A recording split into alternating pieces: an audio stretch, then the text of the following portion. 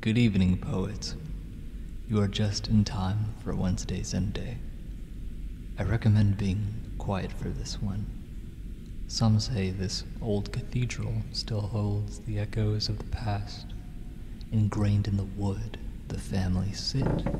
Ingrained in the stone, the choir's voices harmoniously sing. The spirits will let themselves be known here. What it once was will always be for them. Sleep well, poets.